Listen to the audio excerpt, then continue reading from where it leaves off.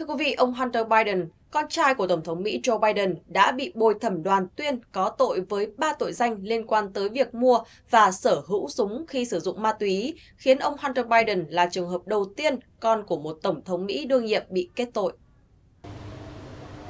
Vụ kiện chống lại ông Hunter Biden do công tố viên đặc biệt Bộ Tư pháp Mỹ David Weiss đưa ra. Ông Weiss đã buộc tội ông Hunter Biden 3 tội nghiêm trọng và 6 tội nhẹ về thuế ở bang California, cáo buộc ông Hunter không nộp 1,4 triệu đô la Mỹ tiền thuế từ năm 2016 đến năm 2019, trong khi chi hàng triệu đô la Mỹ cho ma túy, người hộ tống, xe sang và các mặt hàng đắt tiền khác. Đây là lần đầu tiên con của một Tổng thống Mỹ đương nhiệm bị đưa ra xét xử trong lịch sử nước này. Bản án cho ông Hunter Biden dự kiến sẽ được tuyên vào giữa tháng 10 và ông có thể đối mặt với 25 năm tù giam với khoản tiền phạt lên tới 750.000 đô la Mỹ. Tuy nhiên, do đây là lần phạm tội đầu tiên nên ông Hunter Biden có thể nhận được bản án thấp hơn nhiều. Khi bản kết luận được đọc, ông Hunter Biden, 54 tuổi, chỉ gật đầu nhẹ, tỏ ra rất ít phản ứng. Trong khi đó, luật sư Abby Lowell của ông Hunter Biden cho biết ông thất vọng trước phán quyết rằng thân chủ mình có tội trong phiên tòa xét xử hình sự và sẽ theo đuổi mọi biện pháp để kháng cáo.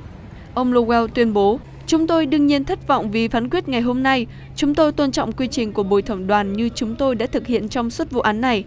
Chúng tôi sẽ tiếp tục theo đuổi tất cả các biện pháp kháng cáo có thể để bảo vệ ông Hunter Biden. Sau khi bị tuyên có tội, ông Hunter Biden cho biết ông rất thất vọng với kết luận của bồi thẩm đoàn. Trong khi đó, Tổng thống Joe Biden cho biết ông sẽ chấp nhận kết quả xét xử và sẽ tiếp tục tôn trọng các thủ tục tư pháp, trong khi con trai ông cân nhắc kháng án. Trước đó, Tổng thống Joe Biden đã tuyên bố sẽ không ân xá trong trường hợp con trai ông bị kết tội hình sự liên quan đến súng đạn. Tổng thống Mỹ Joe Biden cho biết ông sẽ chấp nhận kết quả của vụ việc này và sẽ tiếp tục tôn trọng quy trình xét xử khi con trai mình xem xét kháng cáo. Trong một tuyên bố đưa ra ngày 11 tháng 6, ông Biden nói, Như tôi đã nói tuần trước, tôi là Tổng thống nhưng tôi cũng là một người cha. Vợ tôi, Jill và tôi yêu con trai mình và chúng tôi cũng rất tự hào về con tôi của hôm nay. Rất nhiều gia đình có người thân từng chiến đấu với ma túy hiểu được cảm giác tự hào khi nhìn thấy người mình yêu thương bước ra khỏi thế giới của ma túy và trở nên mạnh mẽ. Như tôi cũng đã nói vào tuần trước, tôi sẽ chấp nhận kết quả của vụ việc này. Tôi sẽ tiếp tục tôn trọng quy trình xét xử. Gia đình tôi sẽ luôn ở bên Hunter, tin yêu và ủng hộ. Không có gì có thể thay đổi được điều đó. Thưa quý vị, chiến dịch giải cứu con tin của Israel tại Gaza mới đây khiến hàng trăm dân thường thiệt mạng và tuyên bố từ chức của ông Benny Gantz, một chính trị gia theo chủ nghĩa ôn hòa, đã làm sâu sắc thêm tình thế tiến thoái lưỡng nan về chính trị mà Tổng thống Biden đang phải đối mặt, đặc biệt khi cuộc tổng tuyển cử tháng 11 đang đến gần. Vào cuối tuần trước, hàng trăm binh sĩ Israel đã tham gia một chiến dịch đặc biệt để giải cứu bốn con tin còn sống ra khỏi giải Gaza. Đây là đợt giải cứu con tin mới nhất kể từ khi khoảng 250 người bị các tay súng Hamas bắt giữ trong cuộc tấn công miền nam Israel vào tháng 10 năm ngoái, giữa bối cảnh các cuộc đàm phán về việc chấm dứt chiến tranh và giải phóng con tin vẫn bế tắc suốt nhiều tháng. Các đại diện Hamas cho biết cái giá phải trả cho sự trở về của bốn công dân Israel là hơn 200 người Palestine thiệt mạng và khoảng 400 người khác bị thương trong đợt pháo kích dữ dội nhằm vào trung tâm tị nạn Al-Nusayrat ở miền trung Gaza các nhân viên y tế địa phương cho biết, nhiều thi thể đàn ông, phụ nữ và thậm chí là trẻ em được tìm thấy nằm rải rác quanh khu chợ gần một nhà thờ Hồi giáo sau khi lực lượng Israel rút quân về. Hiện nay, các hoạt động quân sự của Israel ở giải Gaza ngày càng phải đối mặt với nhiều chỉ trích, đặc biệt sau chiến dịch giải cứu con tin tại Al-Nusayrat. Mới đây, ông Benny Gantz từ chức sau những nỗ lực không thành công nhằm thuyết phục Thủ tướng Israel Netanyahu chấp nhận các thỏa thuận chấm dứt chiến tranh từ bên trung gian hòa giải. Việc chính phủ Israel mất đi một chính trị gia theo chủ nghĩa ôn hòa có thể khiến ông Netanyahu phụ thuộc nhiều hơn vào các thành viên trung thành với mục tiêu xóa sổ Hamas, bao gồm Bộ trưởng Tài chính Benjamin Smotrich và Bộ trưởng An ninh Quốc gia Itamar Ben-Gvir. Rafah là thành phố cực nam ở giải Gaza, hiện có khoảng 1,4 triệu người Palestine trú ngụ sau khi sơ tán từ các khu vực khác. Israel bắt đầu chiến dịch trên bộ ở Rafah đầu tháng này, bất chấp việc cộng đồng quốc tế nhiều lần cảnh báo động thái này có thể dẫn đến khủng hoảng nhân đạo quy mô lớn, nhưng điều đó không đủ ngăn cản bước tiến của lực lượng Tel Aviv. Nhiều chuyên gia lo ngại rằng với niềm tin sẽ nối dài chiến thắng từ chiến dịch giải cứu hồi cuối tuần trước, Tel Aviv có thể sẽ tiếp tục các hành động quân sự như vậy trước áp lực từ thân nhân các con tin và làn sóng biểu tình trên khắp Israel.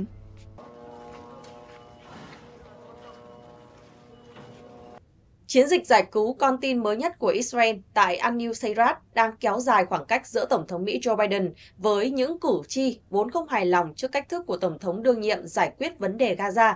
nhưng đồng thời cũng biến ông thành mục tiêu công kích của Đảng Cộng Hòa, đặc biệt trong bối cảnh một số đảng viên đảng này lại ủng hộ Israel.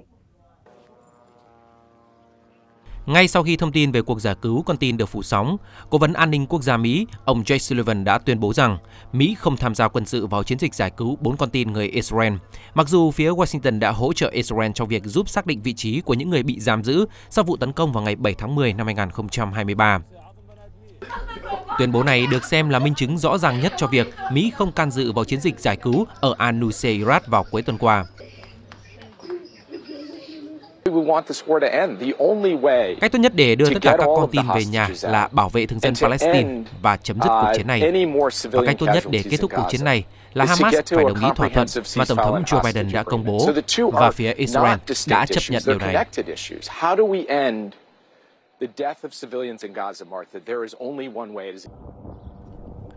Ông Jake Sullivan một lần nữa nhắc lại yêu cầu ngừng bắn của Mỹ. Dù theo nhiều nhà phân tích thì lời kêu gọi này dường như không có sức nặng trong việc tạo ra bước đột phá trên bàn đàm phán. Tình thế tiến thoái lưỡng nan của Tổng thống Mỹ có thể vẫn còn kéo dài khi ông Benjamin Netanyahu xác nhận rằng đã nhận lời mời phát biểu trước Quốc hội vào hôm 27 tháng 4 sắp tới, thời điểm diễn ra đại hội lưỡng đảng nhằm chọn ra ứng cử viên đại diện tranh cử chính thức Lời mời này đã được bốn nhà lãnh đạo Quốc hội thông qua, nhưng lại do các đảng viên của Đảng Cộng hòa khởi xướng, bao gồm cả Chủ tịch Hạ viện Mike Johnson.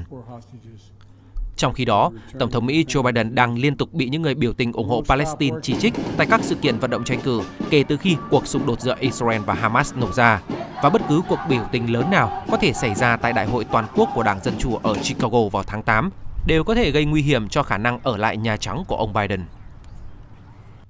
Vấn đề này đặc biệt quan trọng ở Michigan, một bang mang tính quyết định trong cuộc tổng tuyển cử vào tháng 11 sắp tới, nơi có số lượng lớn người Mỹ gốc Ả Rập.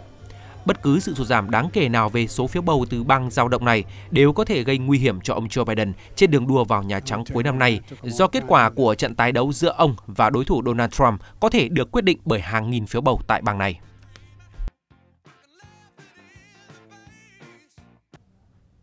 Thông tin vừa rồi cũng đã khép lại phần tin tức tổng hợp quốc tế ngày hôm nay của chúng tôi. Cảm ơn quý vị và các bạn đã quan tâm theo dõi. Còn bây giờ, xin kính chào tạm biệt và hẹn gặp lại.